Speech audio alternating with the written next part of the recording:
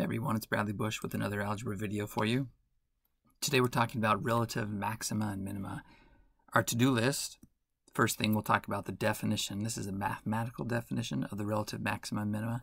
And then second, we'll change that mathematical definition into a plain English version so it's easy to understand. And maybe we'll throw in some graphics. Let's get started. So let's talk about relative maxima and minima. First, let's give you a little definition. Maxima just means plural of maximum, so more than one of them. And minima just means plural of minimum. So we have a relative minimum here, which just means we have it's the lowest point in the surrounding area. And here we have a relative maximum, which is the highest point in the surrounding area. So let's talk about the, the mathematical definition of a relative minimum if we have a relative minimum, that means that f of a is a relative minimum. f of a is the y value here for this point.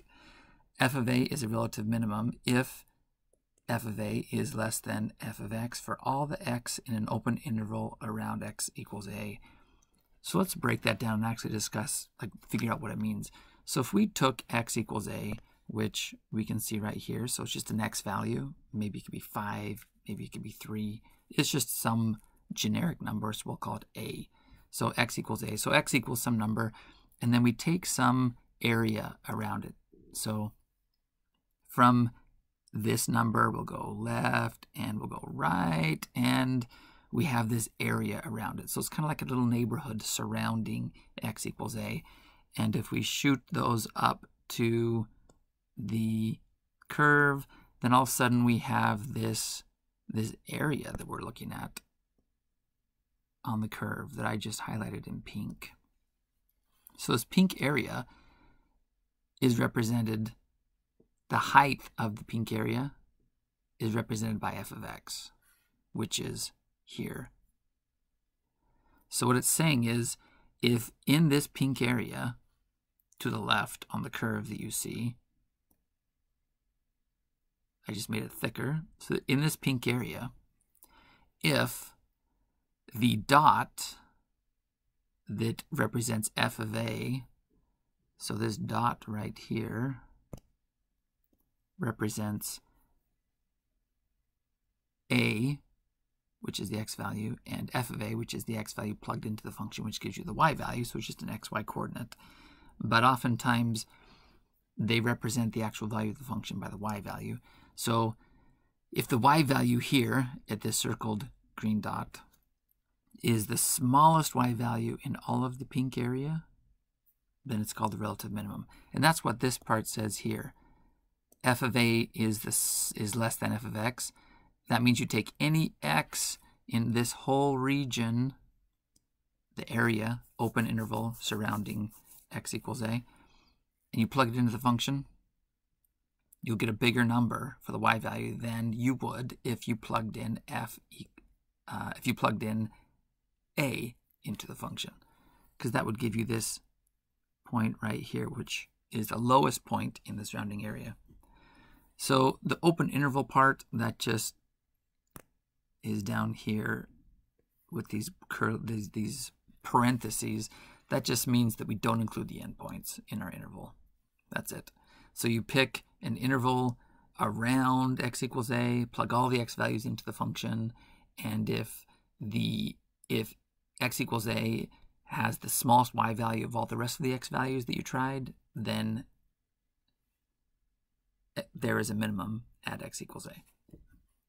So the English version, a relative minimum is the lowest point in the interval containing x equals a.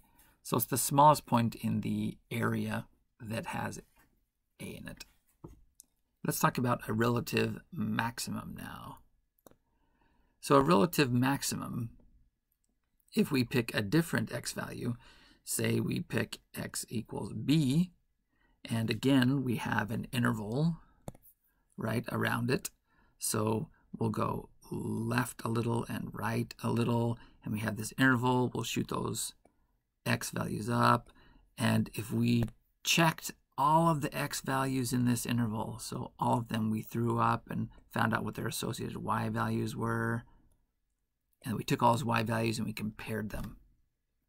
Then it says f of b, which is the y value directly here, f of b is a relative maximum, so this y value is a relative, relative maximum if that y value, it had to be x equals b, is bigger than all the rest of them in the area, or in other words, in the open interval around x equals b.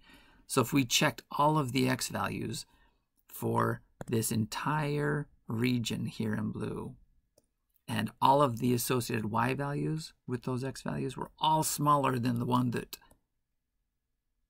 gives us right here the one at x equals b, then we know that we have a relative maximum at x equals b. So in English, the relative maximum is just the highest point in the interval that contains x equals b. So, and a little, a little applied note here. When they're talking about a relative maximum or a minimum, they could just want you to give them the point, the xy coordinate because after all, a relative maximum or minimum is a point on a line, and that point is described by an x and a y coordinate. But in applied settings, sometimes the function or the curve that the point is lying on, sometimes that curve represents something in the real world, like um, the amount of widgets produced by a company or the amount of profit for a given company or something like that. And if they said, what's the maximum profit? You'd be looking for one of these relative maximum values and the profit would actually be the y value. So it's important to note that sometimes in applied problems, the relative maximum or minimum is actually the y value, meaning the answer they want is just the y value. They don't want the xy coordinate. So to look at it a little more carefully if we're given a relative minimum, for example, and it's next y coordinate. The relative minimum occurs at the x value, which is x equals 3. So at x equals 3, we have a relative minimum, but the actual minimum value of the function is 5, y equals 5. Hopefully this helps. If it did, subscribe to the channel and thanks for watching.